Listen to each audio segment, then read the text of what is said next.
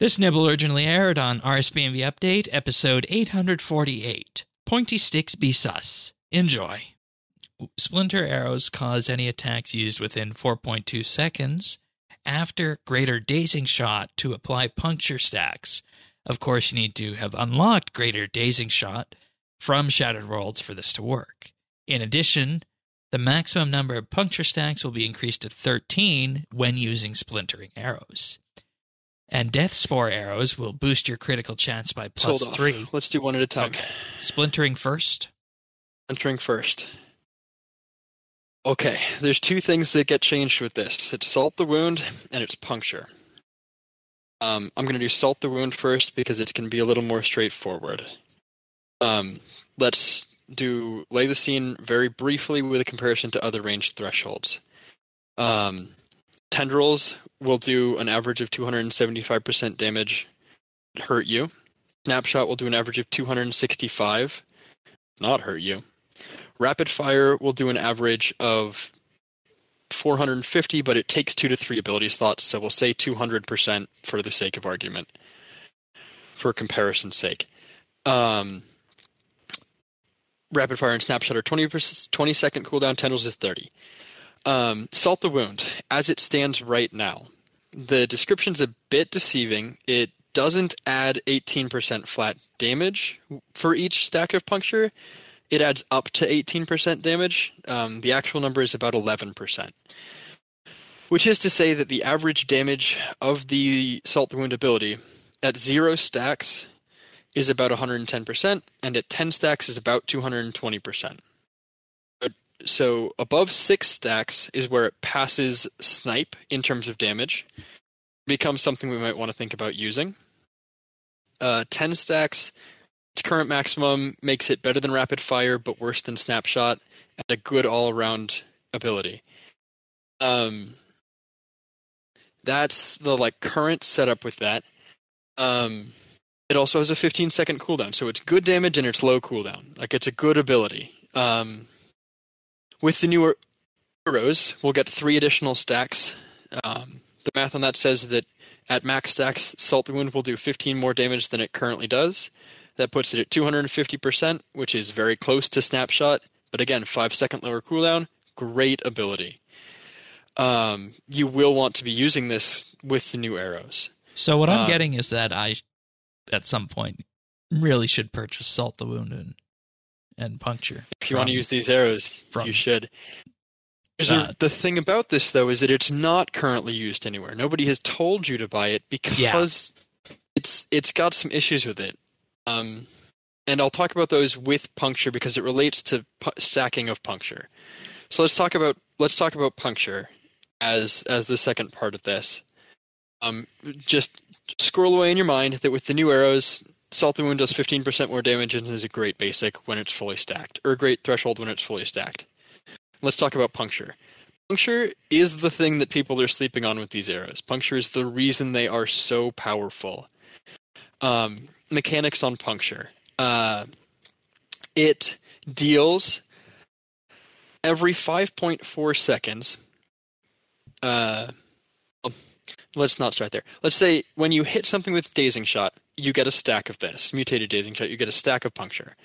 Each stack of puncture on the target does 6.5% ability damage average over nine over four hits in they occur every three damage ticks every 1.8 seconds um, this is where i start to lose people with math um, thing to the most important part to know about puncture is that that, that damage pool that 6.5% per stack is front loaded very heavily so it's split out into the four hits the first hit does 7 fifteenths of the total damage the second hit does 5 the third hit does 3 or 2 and the fourth hit does 1 All right. two and one. Yeah, seven, five, two, and one. So that is to say that those first two hits are the biggest part of the damage, and the first hit is the biggest part of the damage. On live right now, you can only reset that stack count with uh, mutated dazing shot or puncture. So effectively, a 5.4 second cooldown on mutated dazing shot is your thing which is exactly three rounds of Salt the Wound. So you get 14 fifteenths of 6.5% per stack. Um, I'm going to do the math for you here and say that with a tier 90 weapon and uh, maximum stacks, 10 stacks, that is 13, almost 14,000 damage a minute.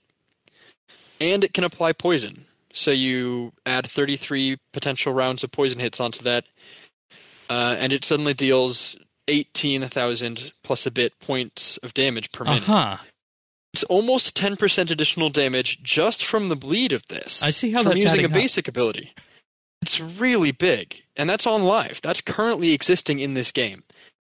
Um, it's, so it's a ton. It's a ton of damage. It's really good, and that if you count the puncture damage as part of dazing shot, because you need to dazing shot to upkeep it.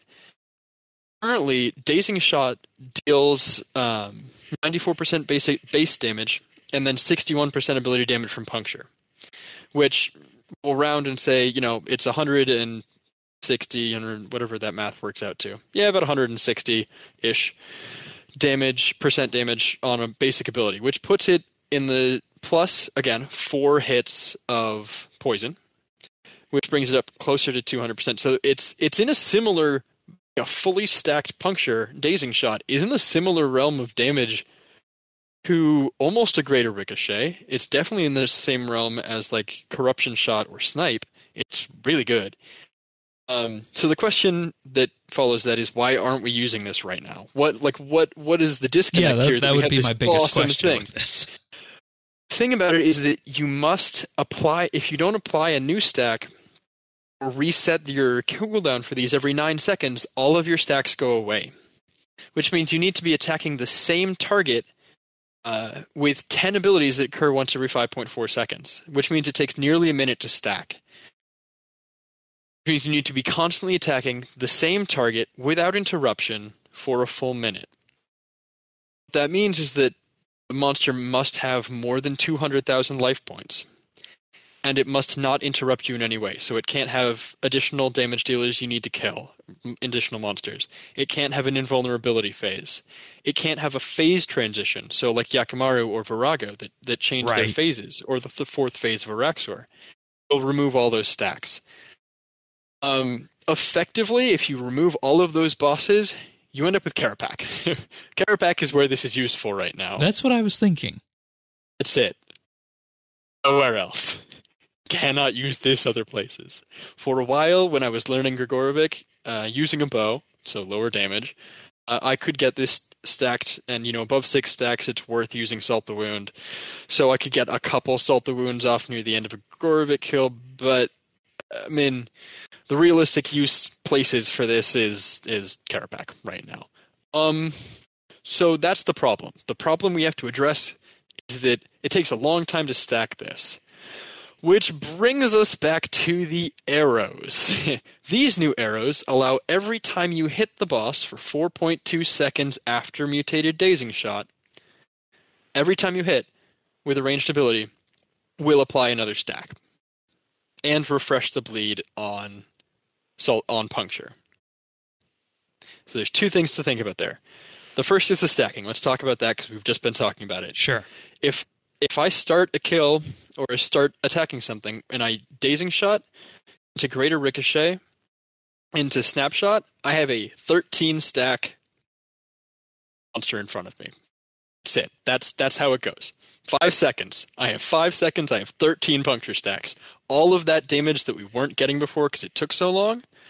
Salt the wound is now usable. Puncture is now stacked. Five seconds. If you don't have greater ricochet, you dazing shot into rapid fire into a dazing shot into another basic, and you're fully stacked. Eight seconds. Eight seconds without greater ricochet to fully stack the new arrows on this thing to get all of that damage. So the arrows are effectively bringing that damage with them, which is amazing. Plus, you also that the damage the math I was doing with with 10 stack puncture. Now we have 13 stack puncture, so it puncture bleed damage does even more. And on top of that, we're refreshing the puncture every time we hit now. Because effectively every basic we use will reset puncture based on the length that these cooldowns are. So remember that puncture is front loaded. That's seven out of fifteenths of the total damage that we were getting before, followed by a five and a two, right. and then re- restart. We now get seven, then seven, and seven. So before we were getting 14 fifteenths of the damage, now we're getting 21 fifteenths, which is a straight up 50% increase to the damage from puncture. Plus the three stacks that are additional, and those two multiply with each other. 1.3 times 1.5 is almost exactly 2. Now, my question with this is this going to be a sleeper like we had on the Kerapac discussion? I think it is. I think people aren't realizing about the refreshing and everything else that it, puncture now does twice as much damage, which means that you're now getting 122% ability damage from puncture plus 94% damage from dazing shot every time you dazing shot. Dazing shot is now a 250% ability. Quick reminder Shot's 265. Salt the Wound fully stacked is 250 with the new arrows. Like, Dazing Shot is something you really want to apply every third ability now. And if you're doing it, you're going to get ridiculous gains. So we're doubling our puncture damage. So we now have 28,000 puncture damage plus 5,000 damage from poison, 33,000. Plus, remember, we're using Salt the Wound four times a minute now.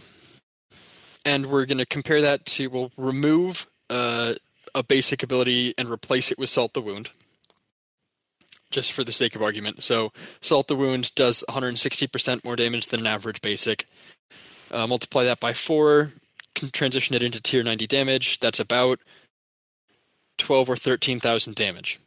And suddenly, these arrows are doing 45,000 damage a minute above using regular ammo. And this For is most people, bow, that can be a, this is with a bow.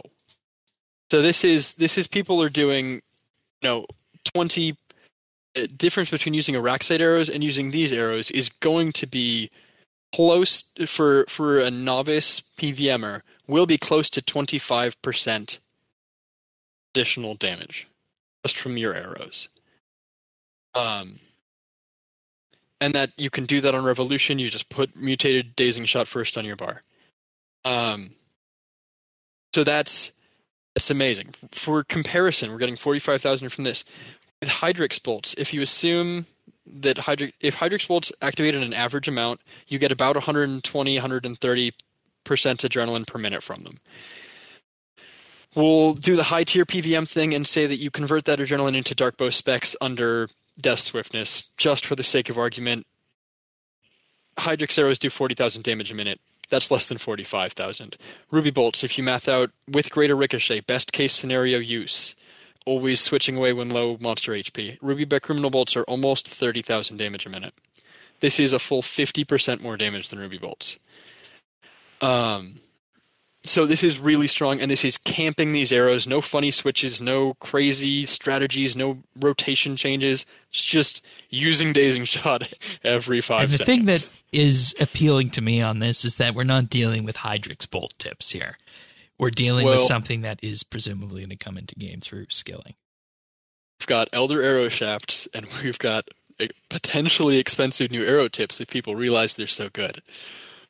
I expect this to be fairly expensive to use because it is so powerful. If they've balanced this to just throw tons of arrow tips at us, this is awesome, and everybody will be using this as your new Slayer tool. Um, so we'll see how the price on them goes and how quickly they come into game uh, in terms of where they get used, in terms of price. But it's really powerful. Like if you want to really hit something with the damages, uh, these will do it. You can find full episodes of RSBANDB Update right here on this YouTube channel. If you found this video useful or just enjoyed it, like and subscribe, or leave a comment.